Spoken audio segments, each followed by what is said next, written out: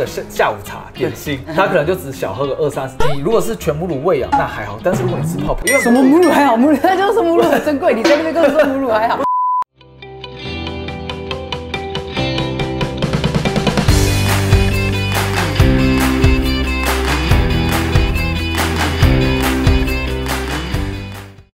大家好，欢迎来到不期而遇的频道，我是 Steven 他想要喂母乳的妈妈，今天这几片你绝对不能错过。大家知道我们的宝贝儿子刚出生不久，嗯哼，那其实我们那时候在做产检的时候，护士都会一直问我们一句话：你要母乳喂养还是配方奶啊？加上我们儿子出生之后呢，其实我们因为有些朋友也是怀孕，然后他们也会想问一下我们的经验，说，哎。你们出生之后，你们是怎么喂宝宝啊？所以后来我发现呢，其实很多的爸妈都会对新生儿哺乳这一块有非常多的问题，包括我们自己在生出来之后，其实是有点跌跌撞撞的在走这条路。所以呢，我跟西雅就决定，我们要来拍一集影片，来跟大家来讲讲宝宝我们哺乳的经验，然后呢，让各位新手爸妈少走弯路哦。而且废话不多说，我们开始吧。那很多新手爸妈所遇到的第一个问题就是，到底该要喂母奶还是喂配方奶？我现在前面要先讲。哦这个问题没有一定的标准啊，因为每个人的状况不同。对。但是生理学上来讲，全母乳喂养加上随时随地喂它，会是最符合生理学的。但是我必须说，在现实中来讲，非常非常难办到。光母乳够不够，这也是一个问题。你那时候月子中心，我记得你就大概一到两个小时就要挤一次。你这是半夜一到两个小时，大概两三个小时。如果要追奶量的话，半夜也要起来挤。对啊，有时候我半夜在睡觉的时候，都是在月子中心的时候，我就看到，就突然有个那个黑影在那边在移动。我想说，我被踹到。后来发现，原来他是在半夜起来，他他要挤奶。对，那那个时候你的奶量是差不多大概在一百到两百的都。我说二十四小时，如果一整天这样二十四小时算下来，大概两百多到三百，两边加起来算蛮少的。因为那时候 Ryan 喝的量大概一整天他已经可以喝到大概五百多，逼近六快六百。所以我那时候其实是有点追不上他的。他有时候挤挤就开始哭，你知道吗？因为没有办法给宝宝全母乳的状态，他其实是有一点点产后忧郁的部分。所以呢，我就跑去买了这个 BHKS 的哺乳。应援组这个组合里面呢，还有一盒孕妈咪软磷脂，还有一盒孕妈咪贝乳。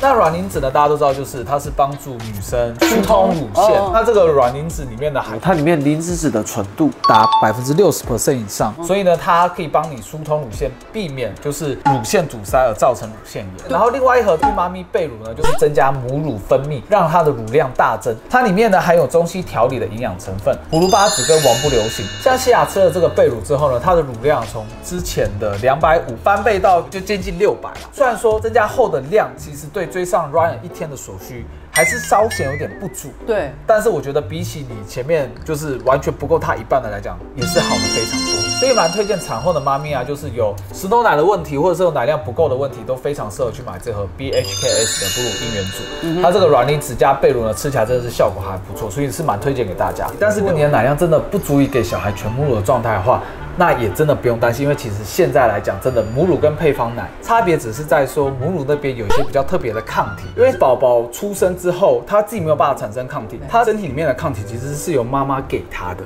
但是配方奶虽然没有母乳里面的这些抗体，但是其实它的基本营养都是够的。所以我必须说，当然如果你能自己喂母乳，甚至是全母乳是最好，但是如果没有办法或乳量不够。那也没有关系，因为其实配方奶对宝宝的营养来讲也是足够的。那既然我们前面讲完，就是该要母乳还是配方奶，后面呢我们就要来讲讲为什么全母乳加随时随地喂它非常的重要。因为如果像宝宝你是决定随时随地给他喝，他有可能一个小时到两个小时，甚至一个半小时，他就会吵着要喝，而且他每次喝的量呢，其实都是不太固定的，有时候因为你不知道他到底喝了多少。对他可能只是肚子小饿，想要吃个下下午茶点心，他可能就只小喝个二三十。你如果是全母乳喂养，那还好，但是如果你是泡泡，因为什么母乳还好，母乳 那就是母乳很珍贵。你在那边跟我说母乳还好，我跟你讲，史蒂文就是那种，因为配方奶需要钱，所以他觉得配方奶很珍贵。但是珍贵的明明是母乳，好吗？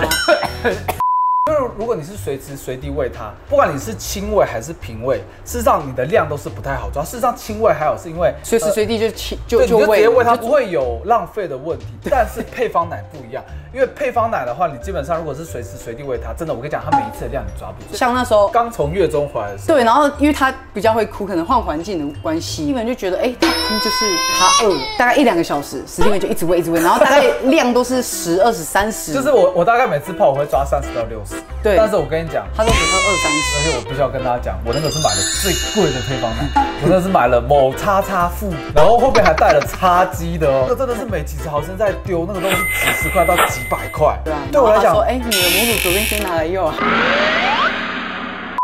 先不去扯浪费那一块，事实上，光他晚上一到两个小时就要起来一次。对我们来讲也是灾难，就是你几乎整个晚上都不用睡，你光要应付他喂奶这一块就非常非常的痛苦。这也是为什么定时定量会是现在哺乳的主流。没错，因为定时定量就是一直说，你大概每隔三到四个小时左右就固定喂给他，比如说按照他成长的时期，像我们现在 Ryan 他已经大概一个半月，接近两个月，他的现在喝的奶奶就已经到三到四个小时，我们会泡给他一百五左右。而且我定时定量有个好处就是晚上我们至少不能说睡很饱，但是我跟你讲，至少我觉得睡到以前没有生小孩八成饱是 OK 的。就是他现在比较。慢慢的，也就是哎，定时定量之后，好像可以慢慢睡过夜了。通常他晚上十一点，我会让他喝最后一次。十一、十二点会让他喝，他就可以睡到早上，大概六点、七点左右。对。就至少一整个晚上，你会有点像是有点加班那种感觉，但是至少你还是可以勉强睡饱。但是如果你换成一到两个小时喂一次，我跟你讲，绝对不用睡了。这也是为什么随时随地喂它，在现实生活中是有难度的。对，是因为大家要上班，大家要睡觉，要休息。你光挤奶不去谈，你光要一一到两个小时喂它，你晚上不要睡觉，对大多数的爸妈，对包括我们来讲，都会是非常崩溃的一点。那前面呢，跟大家聊完就是配方奶啊、母奶啊那些问题呢，我们接下来要跟大家聊聊奶粉，绿色的奶粉。真的是超级有够难挑，因为其实它的很多资讯都不太透明。我们那时候去药局问的时候，药师他们都说婴儿的奶粉是没办法那么公开透明的。但原因呢，是因为啊要提倡母乳喂养，所以第一阶段的婴幼儿的奶粉呢都是禁止在网络上广告，因为他们怕有些厂商会说自己是比母乳更好的替代品，或者是更趋近于母乳这样的广告词出现，所以呢就造成了第一阶段的婴幼儿奶粉呢在网络上你几乎是找不到任何资讯，这些奶粉的价格算相差非常大，蛮。多的，因为像起富蓝罐这一个，大概是一五八零啊，一看就知道奶粉都是谁在买。因为像起富这一罐呢，这罐蓝罐的都已经到一千八，但是像你看这种 S 二十六的，它大概是七八百，那它有开罐，开罐就会降到五百多块，那跟起富的价差就是三倍。这个一罐可以买这个三罐，哎，价差很恐怖。但是我必须要跟各位老师讲。其实差别不会到非常大，而且在一岁左右的奶粉呢，其实政府是有去做限制的，就是它有五十七种的营养素，比如像是维生素 D 啊、维生素 K 啊，基本的那些，它的量都是有做规范的。所以这也是为什么大家可能去问某些医生，他会跟你讲说，哎，其实第一阶段的奶粉各大厂牌的其实差别不会太大的原因就在这边。但是我跟各位讲哦。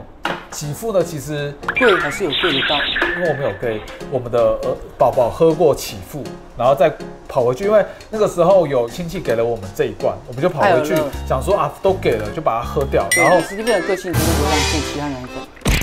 粉，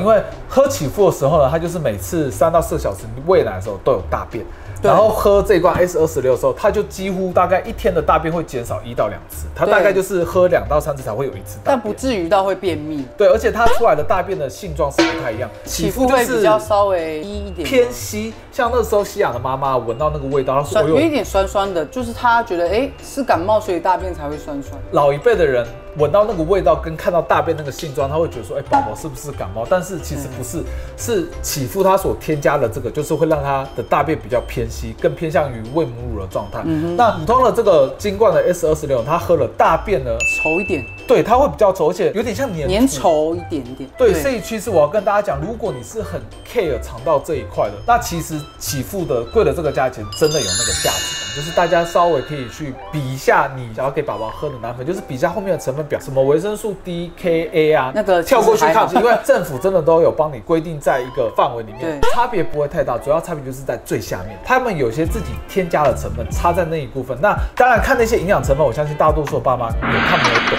但是。你可以去上网 Google 下去说，看看这个成分主要是给宝宝什么样的一个作用。对，那你可以去根据你们自己的需求去给宝宝想要的营养。所以啊，在影片的最后面呢，我们还是要跟大家讲，有条件可以全母乳喂养，当然最好。但是如果没有条件，没有关系，就是你可以半母乳半配方奶，甚至是全配方奶。都没有关系，因为其实营养状态上来讲，绝对是注意宝宝所需。像我们的儿子啊，是半母乳这样半配方奶，一样长得白白胖胖，非常非常可爱。所以在这边我真的是要请各位妈妈，饶了自己。不要给自己太大的压力，而且像奶粉呢，真的差别不会太大，当然它是会有一点点差别，价钱上的差别就蛮大的。